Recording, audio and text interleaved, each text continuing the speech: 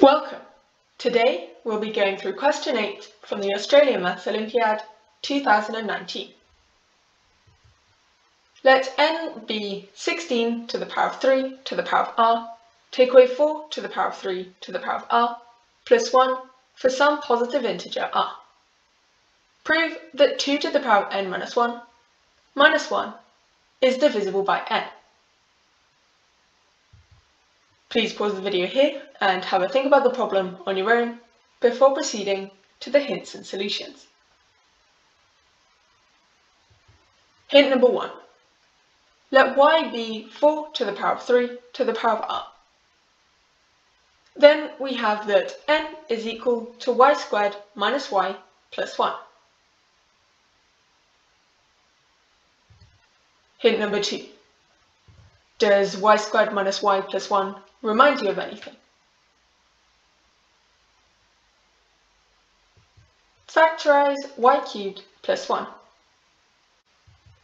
Hint number 3. You may find that 4 to the power of 3 to the power of r plus 1 plus 1 is congruent to 0 modulo n. We will be done if we can show that 2 to the power of n minus 1 is congruent to 1 modulo n. So we may try and make 4 to the power of 3 to the power of r plus 1 is similar to 2 to the power of n minus 1 is possible. Hint number four. Suppose that we have some x such that 2 to the power of x is congruent to 1 modulo n, and that x divides n minus 1. Then 2 to the power of n minus 1 is congruent to 1 modulo n. Why is this the case? Hint number 5. Induction, or lifting the exponent lemma, can help to get from hint number 4 to a solution. Solution. Let y be 4 to the power of 3 to the power of r. Then we have that n is equal to y squared minus y plus 1, since 16 to the power of 3 to the power of r is equal to 4 squared to the power of 3 to the power of r, which is equal to 4 to the power of 3 to the power of r squared. Notice that y squared minus y plus 1 appears in the factorization of y cubed plus 1. y cubed plus 1 is equal to y plus 1 multiplied by y squared minus y plus 1. So we have that y cubed plus 1, which is equal to 4 to the power of 3 to the power of r plus 1, plus 1, is equal to y plus 1 times n. And so 4 to the power of 3 to the power of r plus 1 plus 1 is congruent to 0 modulo n. And so 4 to the power of 3 to the power of r plus 1 is congruent to minus 1 modulo n. We want 4 to the power of 3 to the power of r plus 1 congruent to minus 1 modulo n to look as similar to sort of 2 to the power of n minus 1 equal to 2 to the power of 4 to the power of 3 to the power of r times 4 to the power of 3 to the power of r minus 1 congruent to 1 modulo n is possible, since we are trying to show that 2 to the power of n minus 1 is congruent to 1 modulo n. So we may rewrite 4 to the power of 3 to the power of r plus 1 congruent to minus 1 modulo n as 2 to the power of 2 times 3 to the power of r plus 1 congruent to minus 1 modulo n, and squaring both sides we get 2 to the power of 4 times 3 to the power of r plus 1 is congruent to 1 modulo n.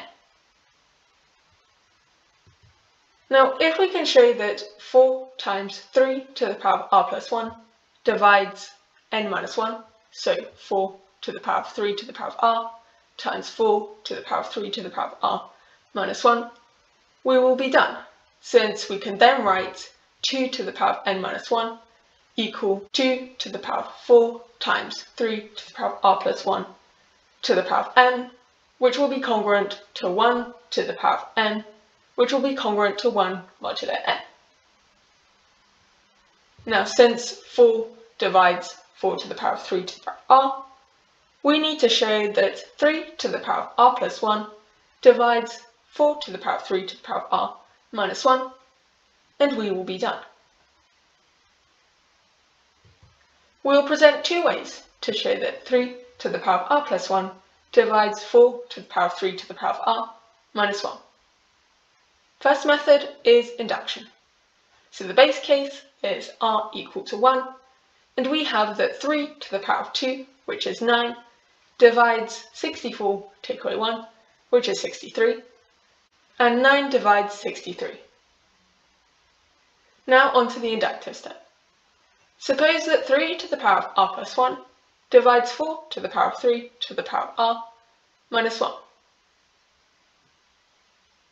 We want to show that 3 to the power of r plus 2 divides 4 to the power of 3 to the power of r plus 1 minus 1.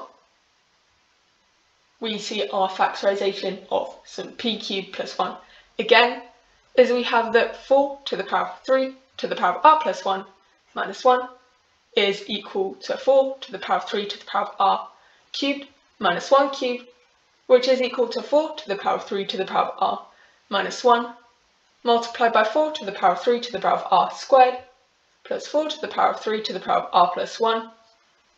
And we know that 4 to the power of 3 to the power of r minus 1 is divisible by 3 to the power of r plus 1. So we just need to show that the second bracket, 4 to the power of 3 to the power of r squared plus 4 to the power of 3 to the power of r plus 1 is divisible by 3.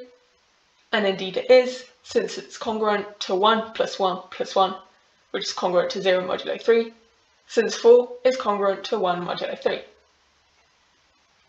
And so 3 to the power of r plus 2 divides 4 to the power of 3 to the power of r plus 1 minus 1, and our inductive step is complete. Now on to our second method, using the lifting the exponent lemma, which says that for some prime p, where p divides x minus y, but p doesn't divide x or y, we have that vp of x to the power of n minus y to the power of n is equal to vp of n plus vp of x minus y, where vp of x is the largest power of p that goes into x.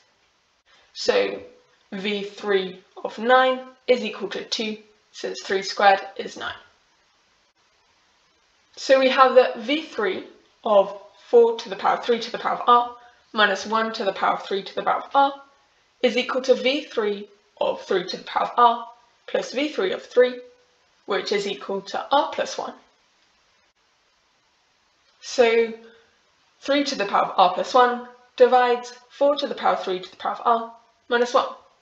And so we have shown that 3 to the power of r plus 1 divides 4 to the power of 3 to the power of r minus 1 twice, and we have the 2 to the power of n minus 1, which is equal to 2 to the power of 4 to the power of 3 to the power of r times 4 to the power of 3 to the power of r minus 1 is congruent to 1 modulo n, and so n divides 2 to the power of n minus 1 minus 1, which is what we needed to show. Thank you for watching this video, I hope you enjoyed it. Feel free to drop a comment in the comments down below, and see you next time.